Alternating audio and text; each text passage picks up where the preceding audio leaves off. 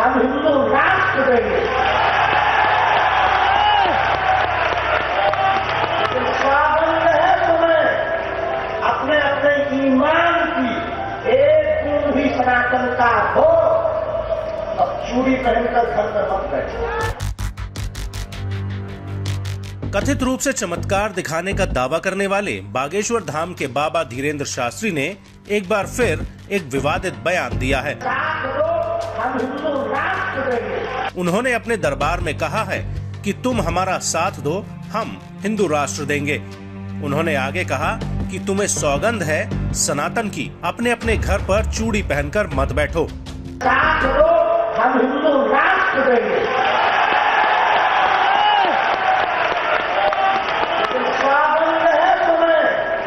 अपने अपने ईमान की एक गुण भी सनातन का हो चूड़ी पहनकर घर में मत बैठो। ये लोग कह रहे हैं कि बागेश्वर बाबा सनातन का झंडा गाड़ दिए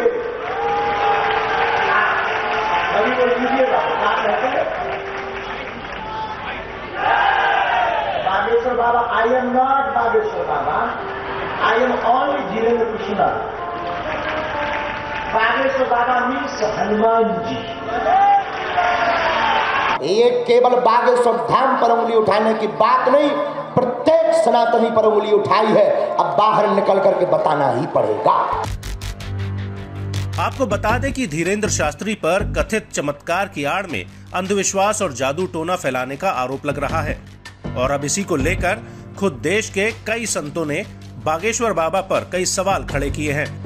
इसी कड़ी में छत्तीसगढ़ के बिलासपुर पहुँचे शंकराचार्य अभिमुक्तेश्वर आनंद ने धीरेन्द्र शास्त्री के दरबार को चुनौती दी है और उनसे कहा है कि अगर उनके पास शक्ति है तो वो जोशी मठ की दरारें रोक दें। हम उनके लिए फूल बिछाएँगे।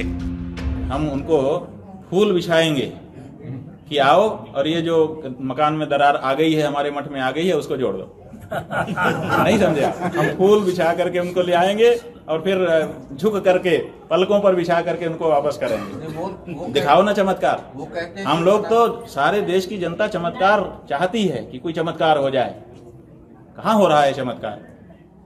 एक नारियल जो पहले से हम लाए हैं उसमें से हम चुनरी निकाल दें कौन कौन सा अच्छा मान लो चुनरी नहीं उससे सोना निकल जाए गोला। उससे जनता का क्या भला होगा?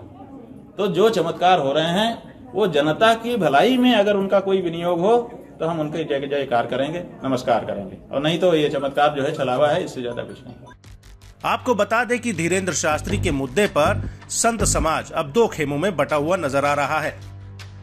कुछ संत बागेश्वर बाबा के चमत्कारों को चुनौती दे रहे हैं तो कुछ उनके समर्थन में खड़े नज़र आ रहे हैं। जो भी फादर या चादर के नाम पे पाखंड करते हैं तो स्वाभाविक रूप से हर देश का राष्ट्रभक्त जागरूक व्यक्ति उनको चैलेंज करेगा। और हिंदू राष्ट्र तो यह आज की आवश्यकता है। हिंदू राष्ट्र से हमारा देश सुरक्षित होगा। और यह आवश्यक भी है, जब देश के टुकड़े हो गए, मज़हब के आधार पे एक पाकिस्तान बन गया तो बचा हुआ हिस्सा तो जो है, वो तो हिंदुओं का ही तो हुआ ना। वो हिंदू राष्ट्र तो होना ही चाहिए। हिंदुओं के साथ तो बहुत ही बड़ा अन्याय हुआ। इसलिए हम सब उनके साथ हैं, हमारा पूरा समर्थन है। आपको बता दें कि ये पूरा विवाद धीरेन्द्र शास्त्री के नागपुर में लगे दरबार से शुरू हुआ। दरअसल, नागपुर में अंधविश्वास निर्मूलन समिति ने धीरेन्द्र शास्त्री को अपने चमत्कार साबित करने की चुनौती दी थी और धीरेन्द्र पर चमत्कार की आड़ में अंधविश्वास फैलाने का आरोप लगाया था।